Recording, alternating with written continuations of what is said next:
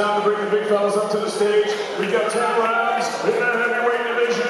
Introducing up first, he's undefeated from Birmingham, the undefeated Central Area Heavyweight Champion, Kane.